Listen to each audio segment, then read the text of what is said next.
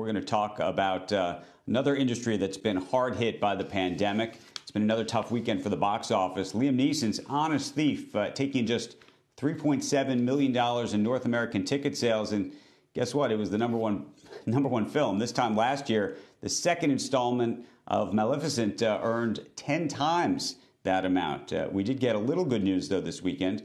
Uh, New York's governor, Andrew Cuomo, uh, saying that uh, theaters outside of New York City now have permission to open at 25% capacity, and they can start doing that this Friday. Joining us right now is Adam Aron. He is AMC Entertainment's president and CM, CEO. AMC will be serving guests in 44 of the 45 states. It has theaters beginning on Friday. I think the real question I'd ask you is, you know, how many people you think, what's the capacity going to look like, and do you think you can fill whatever whatever limited capacity has been created here?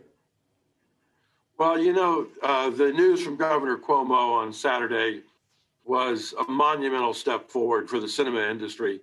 Uh, I think the governor, by the way, has done a fabulous job managing the virus. Remember what New York looked like in March when it was the epicenter of infection in the United States, and now it's been tamed. Uh, AMC has been able to open our theaters across the country now that we can open in New York, uh, New York State first, but that means New York City is right behind. Uh, that also means that the Christmas movies are going to hold. That should mean that we will see new blockbuster movie titles in 2021. Uh, you know, like the airline industry, we're doing a fraction of what we did a year ago. But the question is, what not what we were doing yesterday.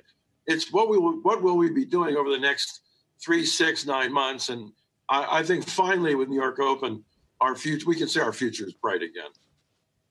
Adam, just just walk through this though. What's what is going to be the limited capacity in each theater at the, starting Friday for you? Uh, in New York, twenty five percent, fifty percent. I think the governor has limited us to twenty five percent in the theaters in which we open. Around the country, AMC has been, uh, depending upon the theater and the locale, has had a seat limitation of 20 to 40 percent. But you have to put those numbers in perspective. Uh, movie theaters aren't typically full.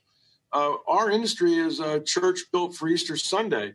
Last year, when AMC sold more tickets than any cinema chain in the world, we only filled 17% of our seats. One seven, 17%.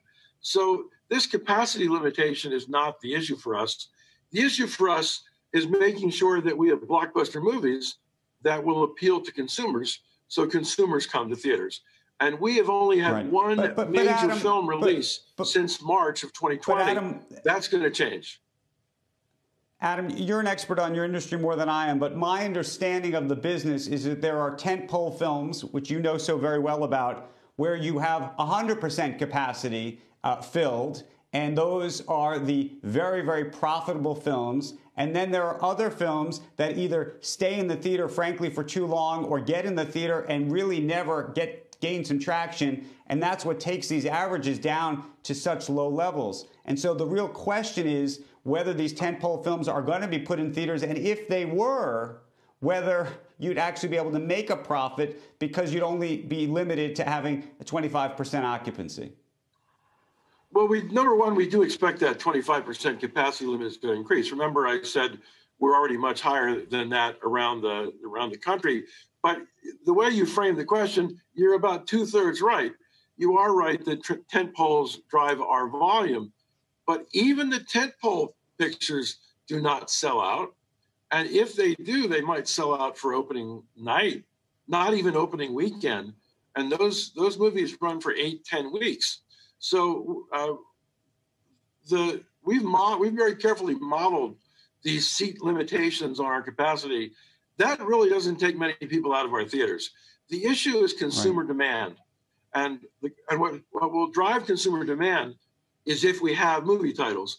You know, we're in sort of we're a new car dealer, uh, and there have been no new cars that have been manufactured.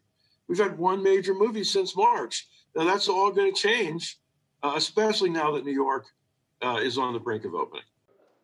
Shepard Smith here. Thanks for watching CNBC on YouTube.